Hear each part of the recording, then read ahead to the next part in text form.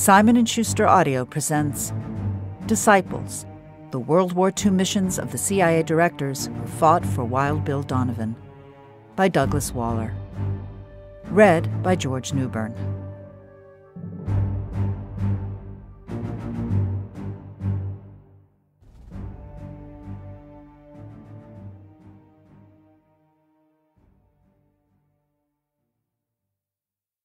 If ye continue in my word, then are ye my disciples indeed. And ye shall know the truth, and the truth shall make you free. John chapter 8, verses 31 through 32. Prologue. The Cathedral of St. Matthew the Apostle on Rhode Island Avenue was among the capital's most impressive churches, shaped in the form of a Latin cross, its interior walls covered with shimmering Italian Renaissance styled murals its large copper dome in the center atop an eight sided lantern rising 200 feet. Appropriate for Washington, D.C., Matthew was the patron saint of civil servants. Funeral masses for Catholics who had risen to the highest levels of the U.S. government had been celebrated inside its nave, which could seat about 1,000. On this Wednesday morning, February 11, 1959, as light from the chilly day outside streamed through translucent alabaster windows, Nearly every space in the pews was filled with veterans of the two world wars, captains of New York finance, lawyers with Washington's power firms, barons from publishing, high clergy from the archdiocese, Georgetown and Virginia horse country matrons, senior officers from the Pentagon, representatives from the White House, and spies. Many spies. The body of General William Wild Bill Donovan rested in the flag draped coffin before the white marble table of the Eucharist in the sanctuary. The funeral home had dressed him in his tailored army uniform with his rows of combat ribbons pinned to it.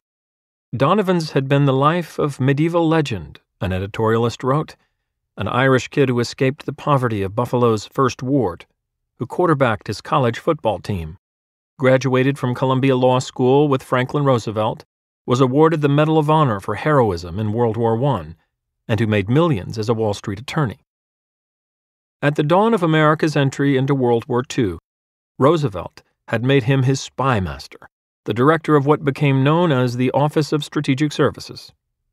Donovan, who had earned his nickname Wild Bill as a hard driving commander in the First World War, assembled for the second a force of more than 10,000 espionage agents, paramilitary commandos, propagandists, and research analysts who waged battle in the shadows against the Axis from stations all over the world. A remarkable achievement considering he began his intelligence organization with just one person Wild Bill. When the choir from Catholic University had finished singing, and the rustling in the congregation had quieted, Monsignor John Cartwright climbed the steps to the ambo to deliver the eulogy.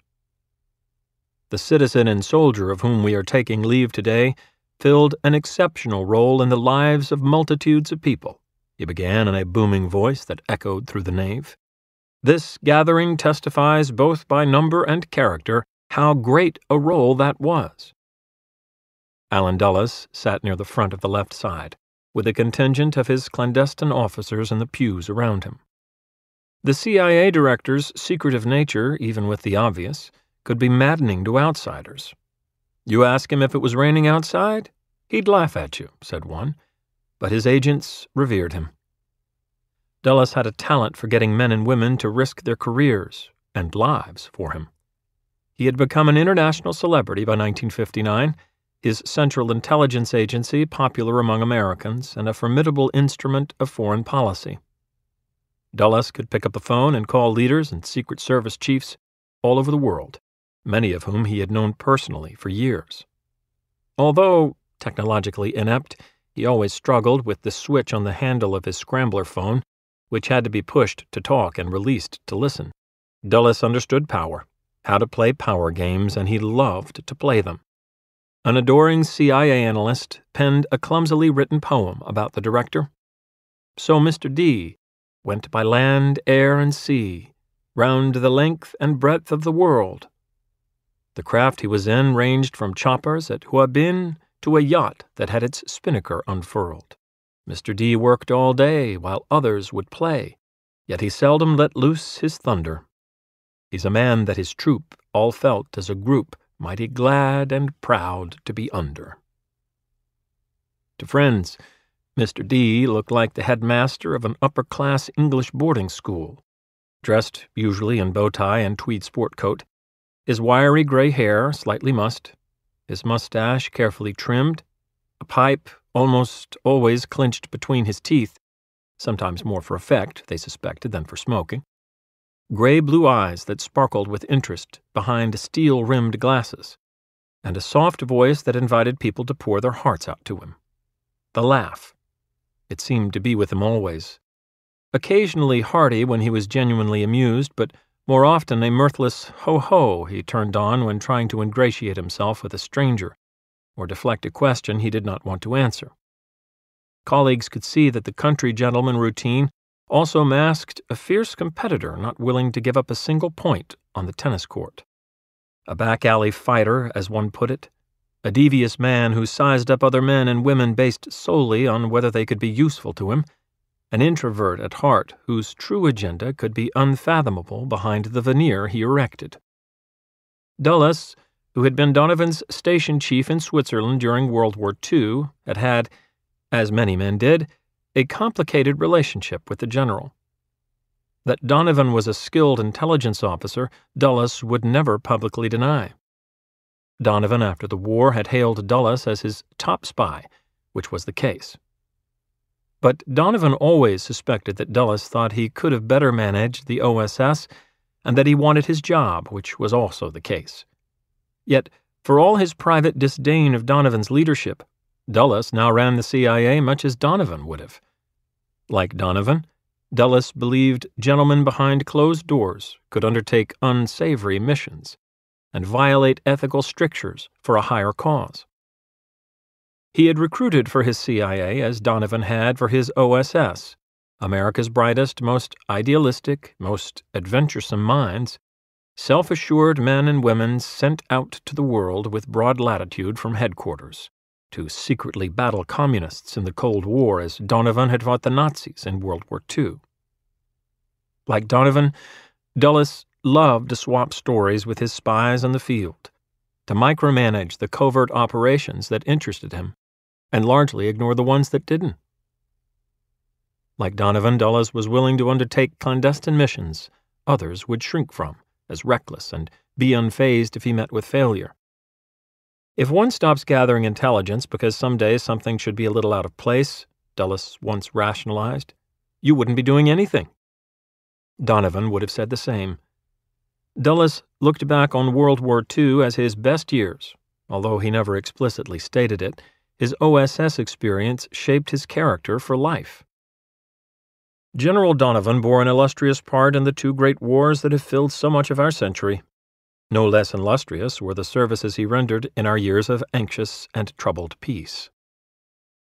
Sitting with the CIA contingent was Richard Helms, an officer nearing middle age whose rise in the agency had been respectable, yet blocked at times by other men Dulles valued as more daring. Helms instead stood out for his administrative skills, an attribute Dulles considered useful, always his favorite adjective for Helms, yet boring. As he had been in Donovan's OSS, Helms in the CIA was a purist for the trade far more interested in quietly collecting and keeping secrets on an enemy than in actually fighting him in the shadows. Unlike Donovan and Dulles, he distrusted covert operations that presidents could deny, believing that if anything could go wrong with them, it would. The seamier aspects of clandestine warfare, such as assassination, gave him pause, not for moral reasons, but because he thought them crude tools and often ineffective. Helms was the consummate spy, with his Mona Lisa like smile, hair always slicked back neatly, and an aloof personality. He did not make friends easily, and when he did, he remained deliberate in his friendships, always restrained, rarely letting down his inhibitions. An open mouth gathers no information, he liked to tell his children. There were plenty of stories circulating in the CIA on its colorful characters. No one could think of a good anecdote about Helms. The consummate intelligence operative, he left no trail behind. Men had to strain to come up with something to say about him, because he made so little impression on them. Women thought him tall and handsome, which he was, but little else came to mind. He detested drawing attention to himself, grew furious with relatives who revealed even innocuous details about his job. At parties, he was a good dancer and a charming conversationalist, but he rarely drank more than one martini, so his head remained. We hope you enjoyed this preview. To continue listening to this audiobook on Google Play Books, use the link in the video description.